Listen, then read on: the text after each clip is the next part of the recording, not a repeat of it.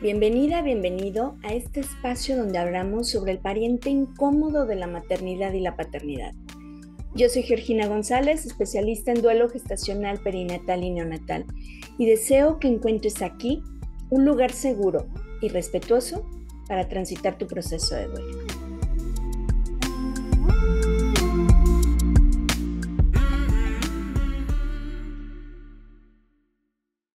Pues hoy retomamos esta séptima temporada del podcast. Hicimos una pausa porque tuvimos unas jornadas bastante intensas en el mes de octubre. Y bueno, la verdad muy, muy conmovida con todo lo que se ha logrado de visibilidad y de concienciación en este mes de octubre. Eh, hubo muchísima información a través de redes sociales, muchas actividades organizadas por diferentes agrupaciones respecto a la ola de luz, muchas empresas que se sumaron a este movimiento con iluminación o con actividades dentro de sus instituciones para dar visibilidad a los procesos que muchas empleadas o empleados en sus centros laborales viven. Entonces, eh, eh, a ver, es un mes que siempre nos mueve, que toca fibras sensibles, eh, que a lo mejor pues nos gustaría estar festejando quizá el Día del Niño o de la Niña, ¿no? Y, no tener que conmemorar el Día del Duelo Gestacional, Perinatal o Neonatal. Sin embargo, estos avances para quienes vienen detrás de nosotras y de nosotros, para dar más acompañamiento respetuoso, pues la verdad es que es muy importante. Dentro de las actividades que tuvo octubre, hubo una que para mí fue muy especial, digo, todas tuvieron sus puntazos, pero este en particular tuvo un toque bastante sensible en mi proceso, que es eh, la entrega de los distintivos aquí en el estado de Jalisco a los hospitales públicos y privados que cuentan con el código mariposa. Recuerda que el código mariposa es un protocolo de atención hospitalaria para atender a quienes tenemos que decir adiós a nuestras hijas y a nuestros hijos desde que están en nuestro vientre, en el momento del nacimiento o al poco tiempo de su nacimiento, independientemente de las semanas, los gramos o los centímetros que estos tenían. Entonces fue muy, muy significativo. En este evento pues colaboramos de la mano eh, Secretaría de Salud, OPD de Servicios de Salud Jalisco, IMSS, eh, hospitales particulares, la AC de Hospitales Particulares de Jalisco y Duelo Respetado, por supuesto también el Congreso de Jalisco eh, de la mano de quien entonces era la diputada Marcela Padilla, que actualmente, bueno, ya no está en el Congreso, pero que fue una gran aliada para que se hiciera decreto de ley Código Mariposa en Jalisco, pero además que pudiéramos llegar a sensibilizar a estos hospitales. Y bueno, sé que faltan muchos más, sé que vienen muchos más a sumarse a esta causa y bueno, una noticia que por ahí seguramente ya has escuchado es que de la mano de Duelo Respetado y Bioalquimia México, el próximo año tengo la certificación en consultoría en código mariposa. Ya les estaré compartiendo información, la verdad es que todavía estamos en estos procesos de trámites, de estructura, de darle formato a este proceso pero en cuanto tenga esta información de costos, fechas y sobre todo los requisitos, que de entrada uno de los requisitos es pues tener formación en tanatología, en instituciones que, avalen, que respalden el trabajo eh, y también pues tener el diplomado en consultoría en duelo gestacional perinatal y neonatal que tenemos nosotros. Ese sí será uno de los requisitos principales porque necesitamos que ya lleves toda esta filosofía y fundamentos que nosotros tenemos en las consultorías para poder hacer la certificación. Pero bueno, ya les contaré con más calma. La verdad es que es un proyecto que me emociona mucho porque sé que va a tocar muchas fibras. Y esto trae mucha reorganización en duelo respetado, que ya les estaré contando. Eh, por lo pronto les adelanto un poco, estoy trabajando para que ya seamos una asociación civil y entonces también tendremos otros enfoques para poder apoyar y acompañar a más personas. Pero con calma y nos amanecemos. Ya les estaré platicando poco a poco estos proyectos. Ustedes manden sus mejores vibras y bueno, que nuestras estrellas sigan iluminando y abriendo los caminos que se necesiten para que podamos tener este respaldo de estas experiencias. Eh, también en resumen de estos días, eh, no quiero dejar pasar de largo el tema de los altares de muertos o el Día de Muertos aquí en, México, que es una tradición que este año honestamente yo disfruté mucho. No suelo ser como muy participativa en estas actividades, pero este año decidí dar un pasito a mi zona de desarrollo proximal, romper un poquito mi zona de confort y me encantó, tuve la oportunidad de, de ir a Zapotlanejo, que es una una ciudad cercana aquí a donde yo vivo, y tienen unas Catrinas, bueno, fue, es el récord de las más grandes, ¿no? Era una familia, estaba el Catrín, la Catrina y su bebé Catrín. Eh, las Catrina, eh, las figuras medían más de 25 metros, el ver tanto color, eh, altares, una calavera, por ejemplo, en honor a Mafalda, que saben que soy muy fan de Mafalda. Entonces, la verdad es que ese colorido me hizo seguir abrazando la vida y la muerte, es decir, todo forma parte de un ciclo, ¿no? Ya lo decía el Rey León, el ciclo de la vida, todo forma parte de un ciclo. Y en este ciclo, lo que de entrada queda para todas las personas que, que habitamos el planeta y que hemos habitado a lo largo de los siglos de la humanidad, sigue siendo el amor y el legado que dejamos, esa huella en el mundo que queda aun cuando ya no estoy físicamente. Entonces, sé que para muchas personas estas fechas fueron difíciles, eh, es complicado, pongo o no pongo a mi ser querido. Yo esperaba poner un diploma de sus estudios, no una foto de mi bebé en un altar, ¿no? en una ofrenda. Pero también esto ha dado mucha visibilidad. Quiero agradecer por supuesto, a Ana Almaguer, que se movió de verdad impresionante en Ciudad de México para lograr eh, en este centro cultural El Rute eh, este altar para nuestros bebés, que puso los nombres, que nos invitó a ser parte de esta experiencia y que muchos otros altares, la verdad no quiero omitir a nadie, eh, muchas personas pusieron altares en honor a, nuestro bebé, a nuestros bebés y que tengo la esperanza que el próximo año sea parte natural, ¿no? Así como tenemos altar a ciertos temas o a ciertos artistas, a ciertas figuras públicas, pues también podamos cada vez normalizar ver eh, los altares a lo que se denomina los angelitos. Entonces, sé que fueron fechas que nos mueven, pero a ver, de aquí en adelante eh, vienen fechas que pueden hacer que el camino se vuelva un poco, mm, yo les digo cuesta arriba, ¿no? Eh, donde imagínate que estás en tu noche oscura del alma y de pronto el terreno empieza a ser ascendente. Y bueno, hay que estar preparados para eso. Vienen eh, para muchas personas que, celebran Thanksgiving, por ejemplo, en Estados Unidos, eh, o en algunos otros lugares, en casa, por ejemplo, nosotros sí celebramos esa fecha, sí, sí tenemos esa costumbre de reunirnos con gente muy cercana a compartir ese día de agradecimiento se me hace de verdad una tradición muy linda porque creo que el agradecimiento nos abre el portal a puertas divinas, ¿no? Valga la redundancia, pero es, es, el día que dejemos de agradecer, así sea un mínimo agradecimiento, también podemos ir cayendo en esta apatía de la vida. Y bueno, eh, retomo el tema, vienen fechas que pueden ser complicadas. Y para esto he preparado un taller que va a, ser el día 30, sábado 30 de noviembre, de 11 a 1 hora del centro de México, para que quienes están en otros lugares con diferentes usos horarios puedan acompañarnos.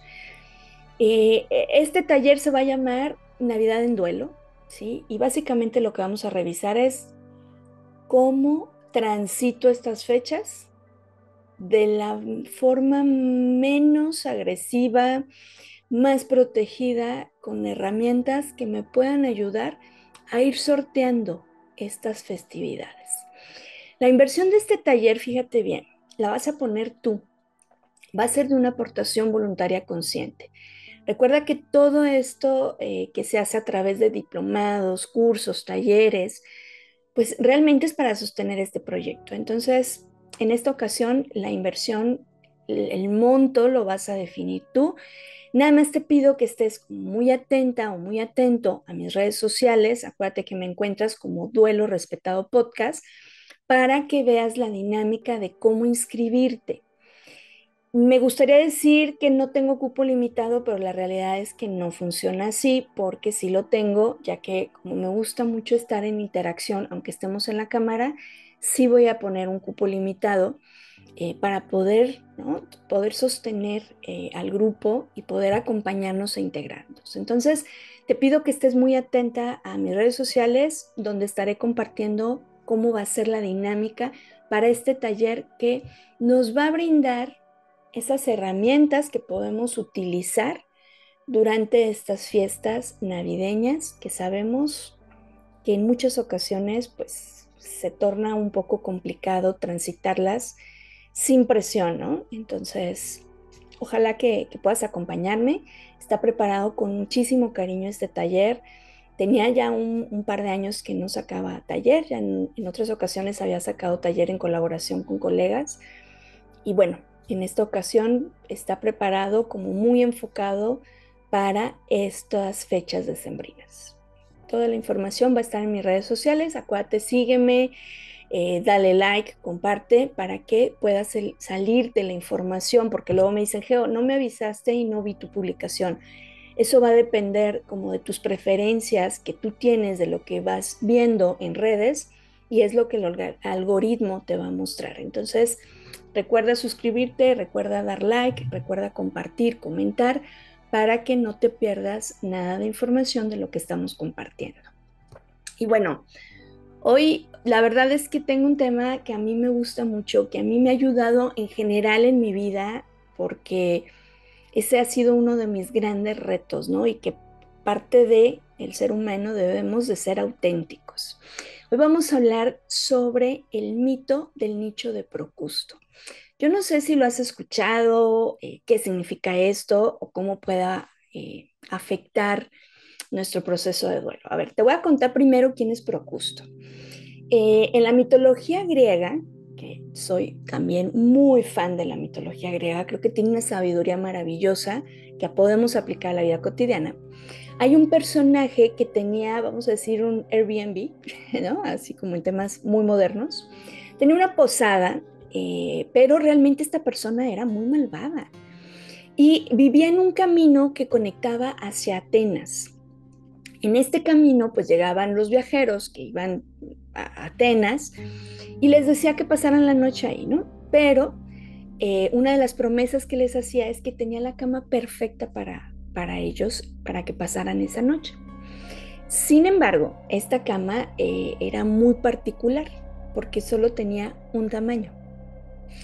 Entonces, lo que hacía este personaje era, se acostaba el viajero y tenía que encajar perfectamente en este nicho, en esta cama, sin importar si cabía o no.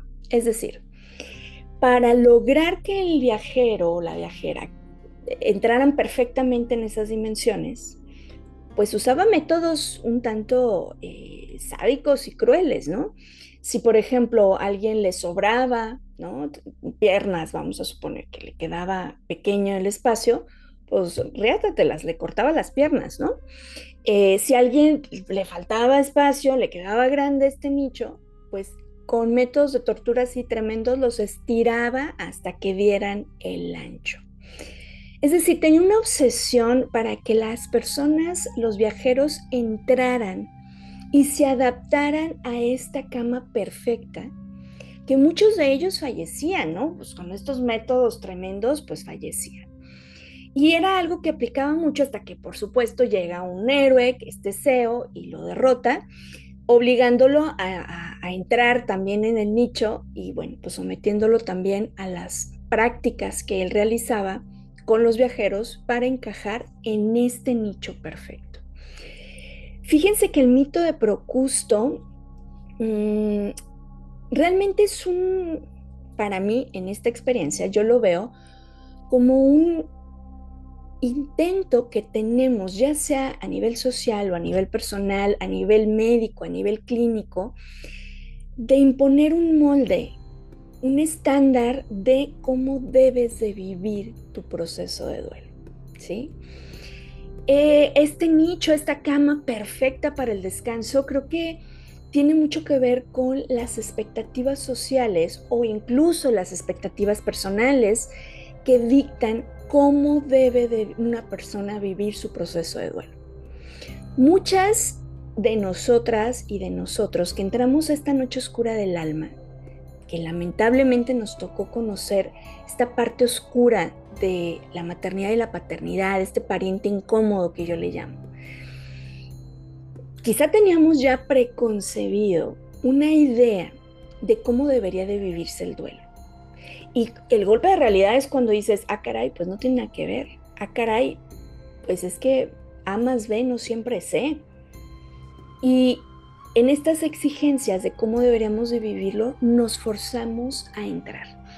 Y parte de las, de las eh, exigencias para dar el ancho y entrar en un nicho eh, donde no es de nuestro tamaño, ni cabemos con comodidad, tiene mucho que ver, por ejemplo, mm, las expectativas de la duración, ¿no?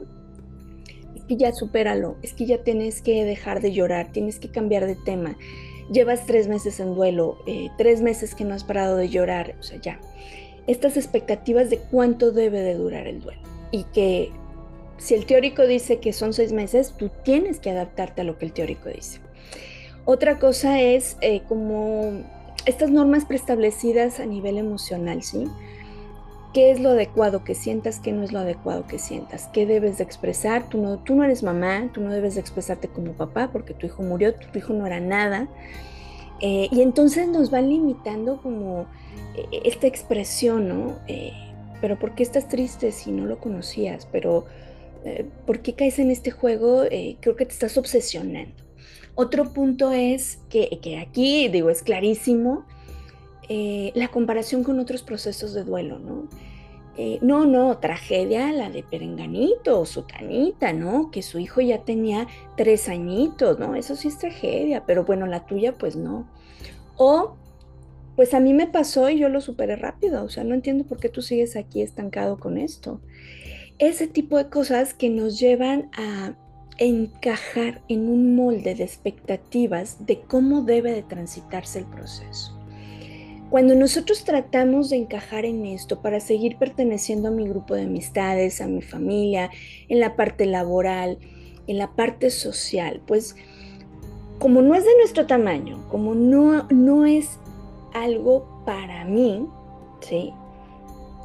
Porque no me queda una expectativa ajena, pues nos vamos generando mucha sensación de culpa, ¿no? O sea, seguramente estoy muy mal porque, porque ella lo superó, ella hizo una fundación, eh, ella ya volvió a embarazarse, eh, él dice que pues X no, siente nada, eh, que pasa la página, que prefiere no hablar del tema y se ve que está bien, pues entonces yo voy a sentirme mal. Porque además soy mala persona, soy mala mamá, quizá hice algo y por eso no se me permitió tener a mi hija o a mi hijo también nos, nos puede obligar a aislarnos, ¿no? Como, pues para que ya no me estén diciendo, eh, sigues con lo mismo, y tú para cuándo vas a tener hijos, etcétera, pues mejor ya no participo, ya no voy, ya no salgo con mis amigas, ya no voy a reuniones sociales, ¿sí? Y también algo muy importante, que este tipo de, de imposiciones nos pueden ir aislando de tal forma que vamos Acuérdense que el transitar de la noche oscura del alma es un proceso natural y entonces lo vamos volviendo un proceso antinatural, es decir, en lugar de fluir con cómo voy, cómo me siento, hacia dónde me guía mi cuerpo, mi sensación, mi sentir, lo que yo con lo que yo me siento cómoda, estoy tratando de ir hacia donde no quiero ir. A todo el mundo nos ha pasado que vamos a una reunión donde no quieres estar ahí, te sientes incómoda y la silla te cala y el vestido y el pantalón y a lo mejor las bebidas y la comida, todo te sabe mal, porque no es natural, o sea, no, estoy fluyendo con el momento. Entonces, es bien importante que seamos muy conscientes y que necesitamos revisar qué tanto de mi proceder en mi día a día tiene que ver con encajar en este nicho de procusto Insisto, que puede ser que alguien ajeno me lo ponga. A mí me ha tocado que me dicen en consulta, Geo, llegó mi mamá, llegó mi suegra, llegó mi amiga y no, no, no, no, aquí bonita, este, a ver, rápido, saque el maquillaje, a ver la boca pintada, fotito de que le vas a echar ganas. O papá, usted es el roble de esta familia, así es que tire para adelante. Entonces, también puede ser que te lo impongan, pero también puede ser una exigencia. Yo tengo que estar bien, yo puedo con esto, Ojo, no estoy diciendo que no puedes con esto, ¿eh? Pero hay momentos donde necesito parar y agarrar aire porque el camino se pone cuesta arriba. Entonces, me llevo a un límite de, de, un esfuerzo por encajar en algo que ni me está haciendo bien, que ni estoy disfrutando, que ni estoy integrando y que me va a generar un, pago de factura a futuro, ¿me explico? ¿Por qué? Porque el cuerpo va a empezar a manifestar, oye, esto no está bien, me estás estirando demasiado para encajar en esto, o me estoy teniendo que hacer chiquita para poder caber en este espacio. Entonces, ¿cómo podemos evitar caer en este nicho de procusto durante nuestra noche oscura del alma? Bueno, yo creo que lo primero que tenemos que hacer es recordatorios. Porque no sé si te ha pasado que a veces dices, sí, yo puedo con todo, no todo al mismo tiempo, pero luego se te olvida y entonces ahí estás ya con todo el mundo, el peso del mundo encima. Por ejemplo, el buscar espacios seguros. Estos recordatorios de encontrar espacios seguros, grupos de apoyo, mm, personas, ¿no? Personas que ya hemos visto por ejemplo, eh, personas vitaminas que le llama Marian Rojas, eh, las personas que son tutores de resiliencia, ¿no? Esas personas que se convierten en mi base segura durante mi noche oscura del alma, que no van a hacer el camino por mí, que no van a hacer el proceso por mí, pero están a mi lado. Y a lo mejor el que me pase en un pañuelo desechable, el que me traigan la comida o el que me escuchen ya es muchísimo apoyo. Es decir, encuentra un espacio seguro, encuentra tu persona segura, donde tú puedas expresar y compartir tu proceso de duelo tal como es. Y puedas encontrar ese soporte y esa contención para ir avanzando. Hay un ejercicio que a mí me gusta mucho, si eres como yo, que luego de pronto traes mil cosas en la cabeza y se nos va porque es a ver, somos humanos y es parte de la rutina. Por ejemplo, eh, a mí me gustan los post-it o poner alarmas. Este ejercicio está bien padre cuando pones una alarma al azar en tu, en tu, calendario. Por ejemplo, ahora que estamos con tanta tecnología con los teléfonos. No sé, selecciona 25 de abril y pon una frase linda el 25 de abril donde sea como, wow, qué bien lo estás haciendo. Eh, oye, fíjate todo lo que has avanzado. Sí, a veces el camino está difícil, pero lo has hecho muy bien. Algo al azar, ¿eh? Digo, igual puede ser una frase de un autor que te haga mucho sentido. Ponle al azar, ponle alarma y olvídate. Y es súper lindo que de pronto estás como en una reunión y, ay, llegó un mensaje y lo ves y es ese mensaje de tu yo del pasado que te escribió a tu yo del presente, ¿no? Ese a mí me gusta mucho. Y otro punto también, les decía con los post-it, por ejemplo, tú puedes escribir frases de de lo que es tu proceso de duelo, pero sin juicios. No sé, mm, este es mi proceso único y válido como es. Em, mi proceso de duelo merece respeto así como lo estoy transitando. Y que lo pongas en lugares visibles para que te recuerde que no necesitas ajustarte a ningún molde, que tú vas a ir creando tu propio camino, que vas a ir avanzando a tu propio ritmo, en tu propio paso. Que a Perenganito le funcionó muy bien esta técnica, este ejercicio y avanzó en dos meses. Qué padre, qué bueno para Perenganito. Pero yo no, yo no, yo no encajo ahí. Es que esta teoría, esta técnica, este libro, este grupo eh, es lo máximo y solo esto eh, eh, para ti, pero yo no. ¿Sí? Entonces, busca aquello que te recuerde que es tu camino. Es mi duelo, yo decido cómo hacerlo, pero sobre todo decido respetarme y no obligarme a encajar en algún espacio donde yo no tengo cabida. ¿De acuerdo? Bueno, pues espero que te sirva. A mí la verdad es que el mito del nicho de Procusto me ayuda a aterrizarme cuando empiezo a dejar de ser auténtica, cuando empiezo a dejar de ser geo, cuando me empiezo a desconectar de mí para poder encajar en otros espacios. Y es un ejercicio eh, de disciplina constante para revisar en qué momento me estoy estirando o me estoy haciendo más chica para no sobresalir, ¿sí? Chécalo, valóralo y también adáptalo a lo que a ti te funcione. Y bueno, con esto vamos a, ir cerrando ya nuestro episodio. Retomamos, insisto, esta temporada 7 con todo el cariño.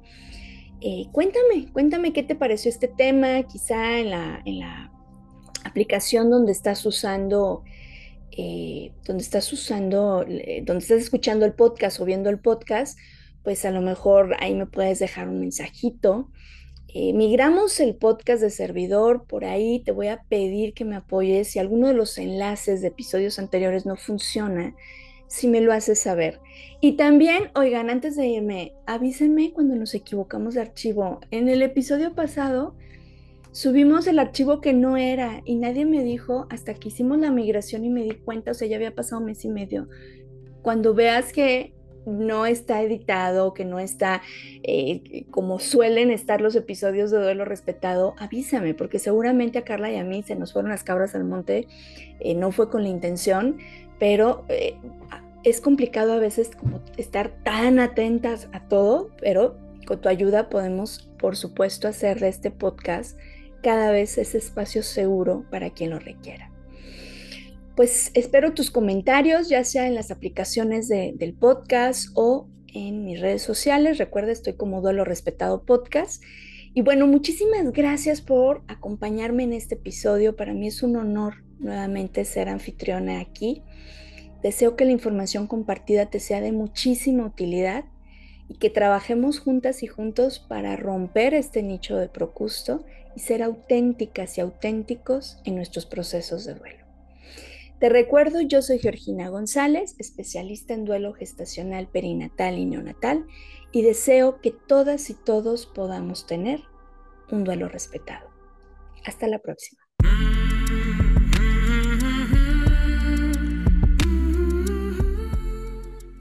Este programa es producido por Georgina González y Carla Rodríguez y narrado por mí, Georgina González.